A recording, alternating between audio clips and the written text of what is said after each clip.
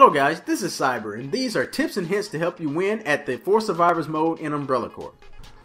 4 Survivors mode is a new PvP mode with new rules. It is a 4-player free-for-all type match. And in typical Resident Evil style, you have limited resources. You start without a zombie jammer or a primary weapon.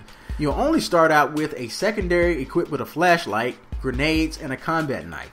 Your secondary only has one clip of ammo, and aiming down sights will turn on the flashlight and since you do not have the brainer, you can't climb walls.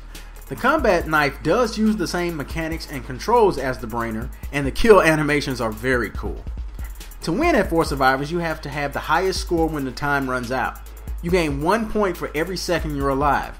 When you are killed, you drop all of your points you had on you and your score resets.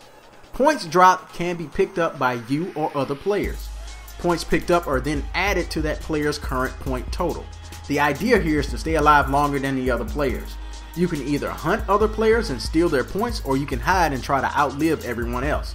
Either way, remember that you do not have a zombie jammer. This means that the infected will be after you as well. In this mode, your health does not regenerate automatically.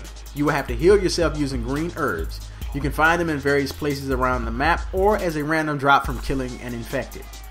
Every minute supplies are dropped on the map. The location of these supplies can be seen on the screen and on the minimap sound radar as an icon of the classic Resident Evil item box. These supply drops are either ink ribbons, a prototype zombie jammer, or a weapon. Ink ribbons are a valuable tool in 4 Survivors. On your screen and the minimap, you will see the icon of the classic Resident Evil item, the typewriter. As in all the other Resident Evil games, this typewriter is used to save your progress.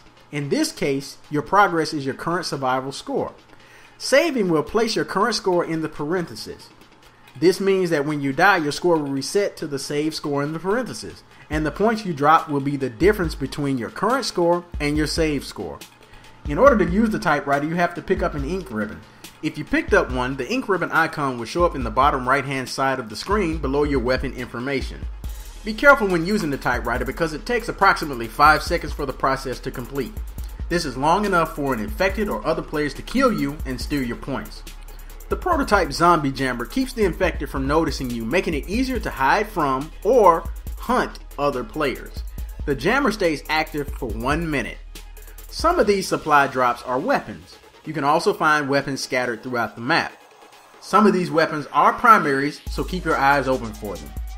As always, thank you for listening. I hope this guide has been helpful. And if you want to hear more like this, hit that subscribe button. And if you like this video, hit that like button. Thank you again. This has been Psiber.